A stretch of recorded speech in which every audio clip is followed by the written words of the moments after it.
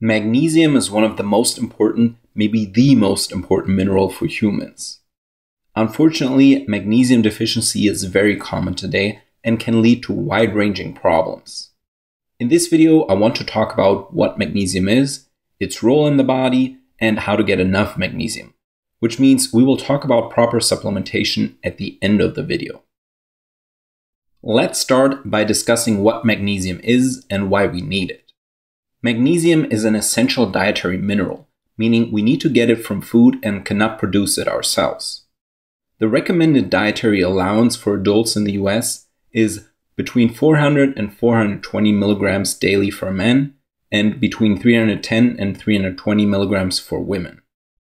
Just as a side note, the body of a 155 pound or 70 kilogram man will have stores of magnesium of around 24 grams most of which is in the bones or directly in the cells. There it is used as an electrolyte or as a cofactor for enzymes and chemical reactions. Nowadays, scientists have identified over 300 enzymes that require magnesium, which makes it difficult to describe them all. Let me still list a few of the most important ones. First, magnesium helps maintain electrical charge in the cell.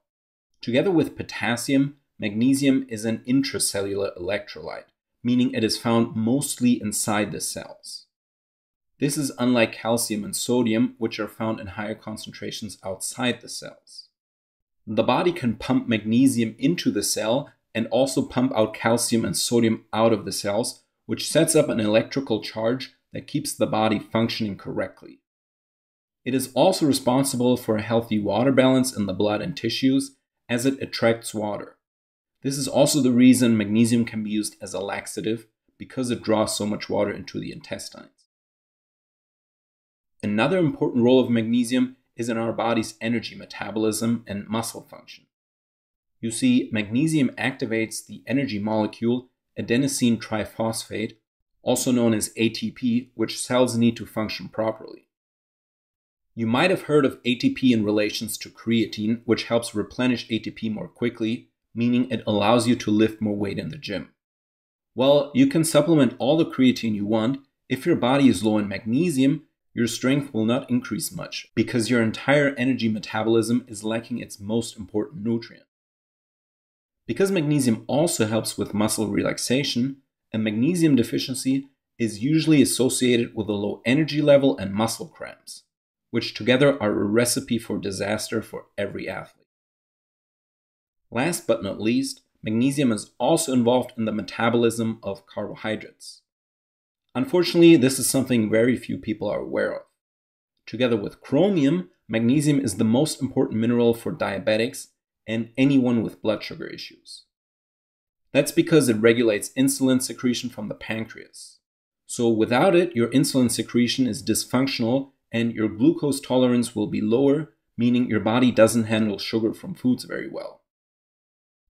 So, in conclusion, the most important functions of magnesium are that it regulates energy metabolism, it relaxes the muscles and nervous system, it contributes to maintaining healthy bone function, and it helps regulate blood sugar and blood pressure.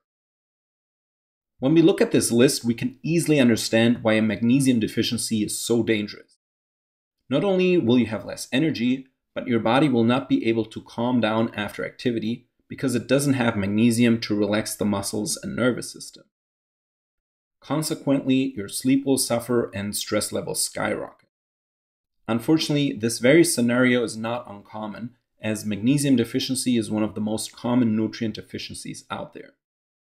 The three main reasons for this are 1. Food processing.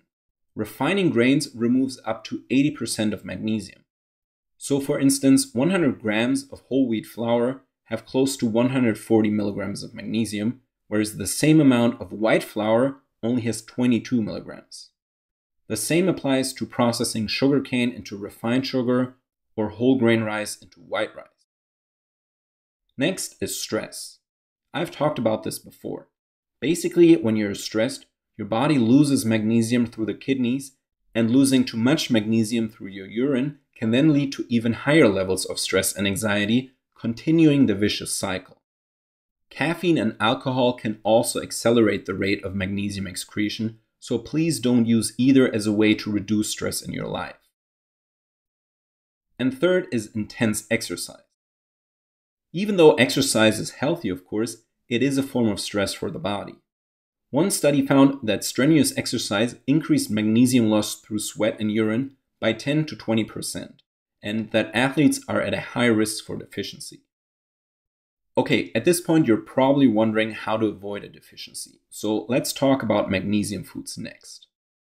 In general, the foods richest in magnesium are green leafy vegetables, whole grains, and nuts and seeds. However, all three come with a caveat.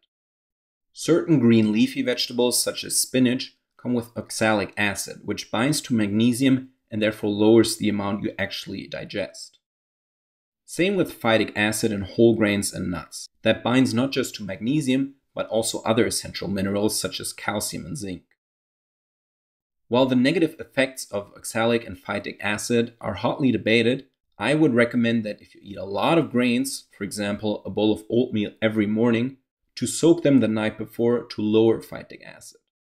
That way, the magnesium in the oats will be a lot more bioavailable.